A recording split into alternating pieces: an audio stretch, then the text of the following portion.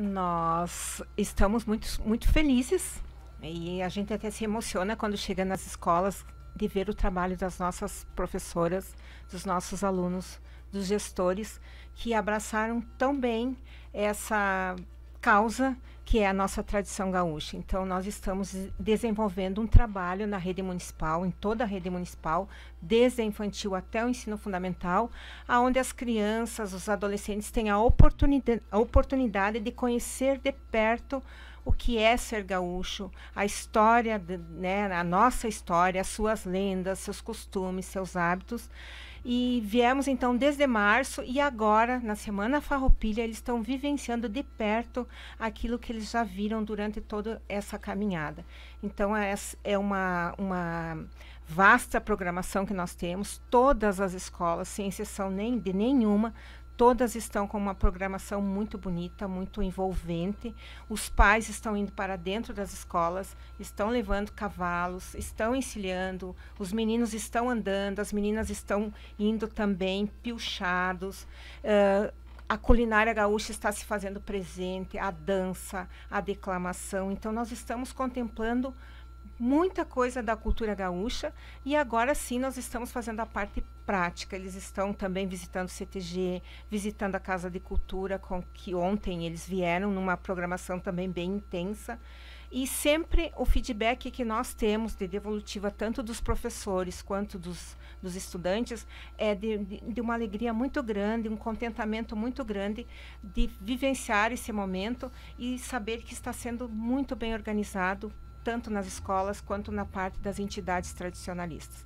Então, acredito que os méritos né, são de todos, é um somatório de tudo que foi iniciado e agora a gente está coroando então com essa parte mais festiva. Sabe que, que ontem, ontem, acho que foi ontem, né, Pedro, que foi no, no Agrícola, ontem, ontem? Enfim. É, foi, foi ter, terça, terça-feira, né? Terça-feira. Eu me chamava atenção, me chamava muita atenção, Gabriele, que eu consegui ver uma integração e não foi só dos pais ali. Uh, amigos nossos que são conhecidos de rodeio vieram trazer, até trazer cavalos de Siríaco, de Nova Prata, para os seus filhos que estudavam ali, trazer a chama, desfilar. Os acampamentos com os pais dentro. E hoje uma coisa que me chamou muito, mas muito atenção, inclusive quem teve lá pôde registrar, é a satisfação das crianças em poder tocar num animal, em poder pegar o couro e, e com as próprias mãos ver a textura, tá vivendo aquilo ali. Deu para notar também, isso, isso é uh, para o pessoal que trabalha especificamente com a organização, consegue ver essa satisfação também? Como é que está isso? Traz um pouquinho para nós. Isso, com certeza, esse encantamento no olhar é visível, é aquele deslumbramento, né? Porque nós estamos nas nossas escolas também de educação infantil com os passeios a cavalo nas escolas. Então, onde eles podem sentir, tocar, acariciar e fazer o passeio, onde muitos não têm esse contato. E agora, na Semana Farroupilha, estão tendo esse contato direto. E cabe ressaltar também que todas as nossas escolas, a nossa rede municipal, trabalha com o projeto da cultura gaúcha desde março e eles trabalham com atividade toda semana. Então, toda semana eles têm as atividades da, do projeto da cultura gaúcha e agora, bem precisamente na Semana Farroupilha, onde tem mais os destaques, né? Como a Isabel mencionou, a culinária, que te, cabe ressaltar nas nossas escolas. Ontem, em uma delas, tinha o revirado de feijão, para as crianças. Ai, eu não fui convidada dessa. ah, variedade. Isso. E numa outra escola nossa, eles produziram a linguiça campeira na escola, todo linda, o processo, como é que faz e depois a degustação. Então é desde os nossos pequenos, né? Desde ali a gente tem a tradição desde o nosso berçário até os anos finais do nosso ensino fundamental. Então vem como o próprio nome diz, vem de berço, já da nossa rede municipal com toda essa tradição e para manter viva, né, com os nossos alunos. E o que que vem pela frente? Vamos lá, o que que nós temos pela frente?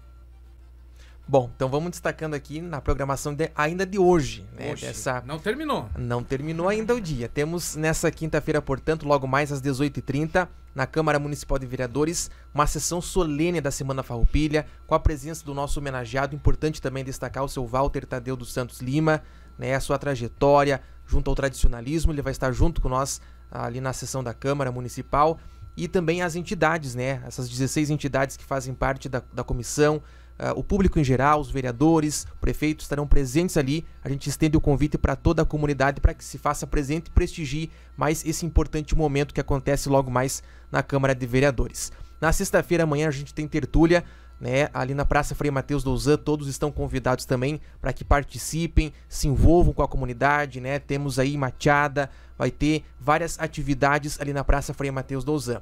E no sábado, aqui em frente à Rádio Lago FM, temos também uma grande tertúlia, um grande encontro aí, onde todos também estão convidados, um encontro artístico de talentos locais, né? Você que é gaiteiro, você que é uh, declamador, trovador, Uh, enfim, todos estão convidados a estarem participando no próximo sábado, portanto, a partir ali das 15h30, 14 horas, tem show também com o Quinteto Serrano, que vai estar fazendo a sua apresentação.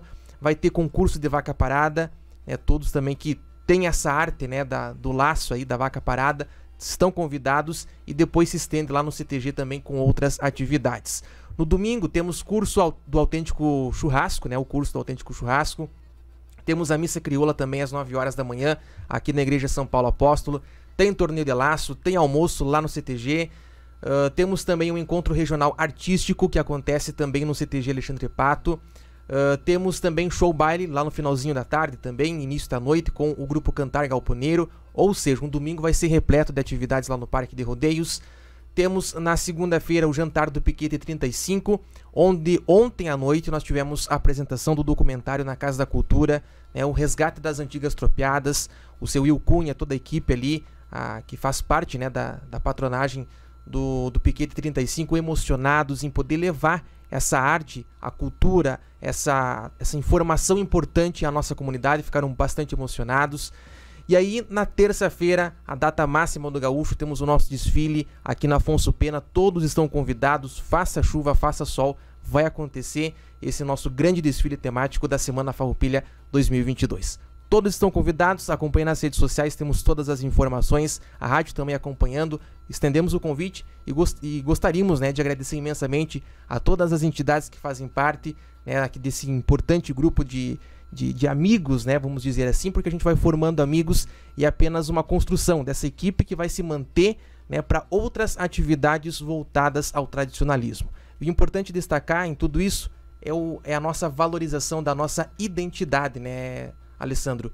Ah, falávamos em tantas questões, mas eu acredito que seja a identidade que está sendo enaltecida levando as crianças, a pessoas que não têm tanto contato com o tradicionalismo, e isso é o importante da Semana Farroupilha do mês do Gaúcho.